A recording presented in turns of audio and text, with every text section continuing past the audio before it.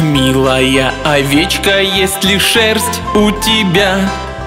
Да, сэр, конечно, целых три мешка Один для хозяина, другой для его жены Третий для мальчишки, что живет поблизости